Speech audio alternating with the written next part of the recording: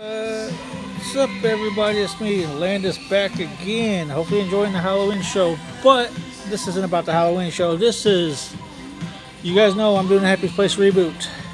Two years, 2024.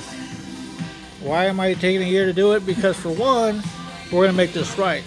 For two, we're gonna make this really huge. We're gonna make it very, very huge. Got some ideas, getting the team together.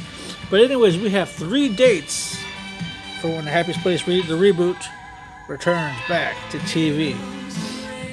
When we do the reboot, my name will be I won't be Happy Happy the Hobo. I'll be Landis the Hobo.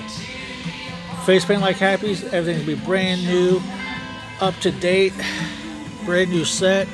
But I have three dates. Three dates I'm working on for the Happy Place reboot to happen 2024.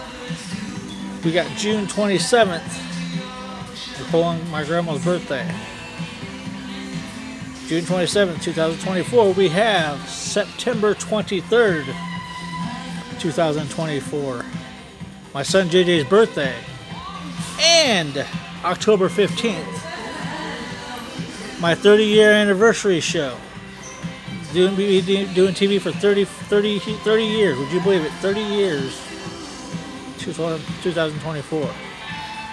What? It'd be 31 years, sorry. Repeat that. 31 years. So my official dates, possibly three days coming back. June 25th, 2024. September 24, 2024. September 23rd, 2024, sorry. And October 15th. Those are the three dates that's possibly going to happen when Happy Place reboot happens. Three dates possibly working on. Gotta make tough decisions, but 2004, 2024, Happy Place reboot. Those three dates I gave you. Can't wait